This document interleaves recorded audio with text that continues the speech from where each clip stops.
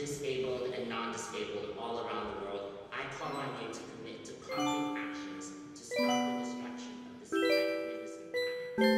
This conference is one of the most important meetings in history.